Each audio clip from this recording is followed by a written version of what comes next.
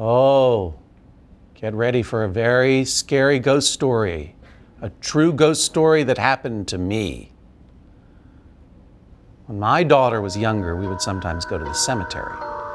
The cemetery is called Greenwood. It's in Brooklyn, and its main entrance is on 24th Street, where a giant Gothic triple spired gate presides. A colony of green monk parakeets, supposedly descendants of a long ago pet store jailbreak, nest and chatter in those spires among their cold, stony hollows. The parakeets liven the cemetery up because parakeets are famous for their irony. But there is a side gate nearer to where we live that my daughter and I stumbled across one spring. It was just there at the end of Prospect Park West, after the last block of shops and houses and schools, hiding in plain sight like a purloined letter. I was excited when we stumbled across it. I already loved our neighborhood, but to discover after years of living there that it also had a secret door to a massive Edward Gorey-esque necropolis was dreamlike, an embarrassment of weird riches. I said to my daughter, Never forget what your father and mother have given to you by moving here. Let's go into the cemetery. I only had a mustache then. It was a rainy, humid, gray spring day, and I was wearing a raincoat with my hood up and big dark sunglasses for some reason.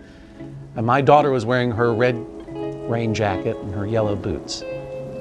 We approached the guard at the gate, and he stopped us. Are you sure you want to go to the cemetery? And I said, Yes.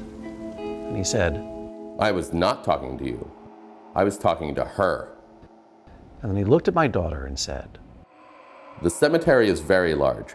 There are places you can go where no one could hear you if you needed help, even if there were a lot of visitors today, which there are not.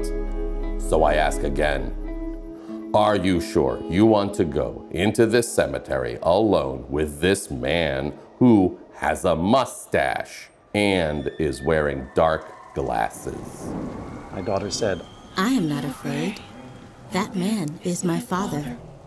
Reluctantly, the guard accepted this truth and let us pass. The guard was right.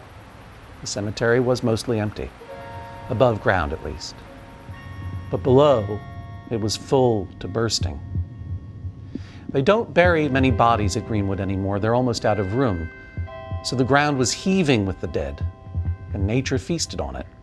We wandered over mounds of the greenest grass, and the limbs of the dogwoods heavy with rain, and fresh blooms that dipped down to meet us as we navigated around the headstones and obelisks and peered through gated windows into dark tombs.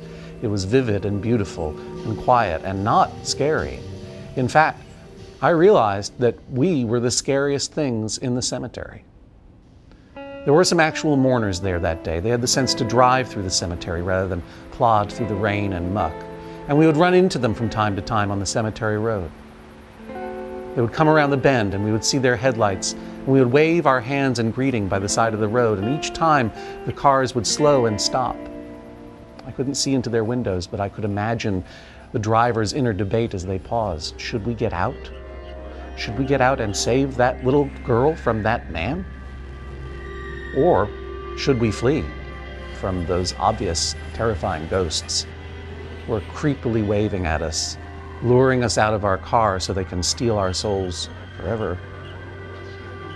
After a while, one impulse would win out over the other, and they would drive on.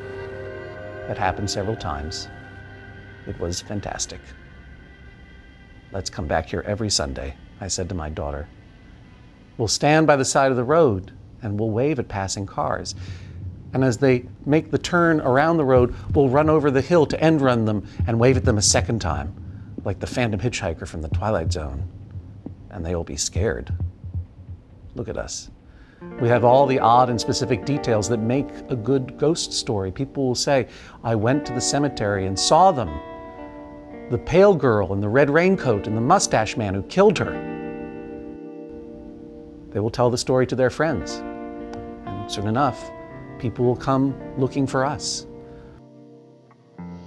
They may even imagine that they've seen us, even on those days we're not here. And when you're in college and I'm too sad to come here by myself, our journey through this underworld will become legend. We will continue. Like descendants of descendants of the birds. And that way we will live forever.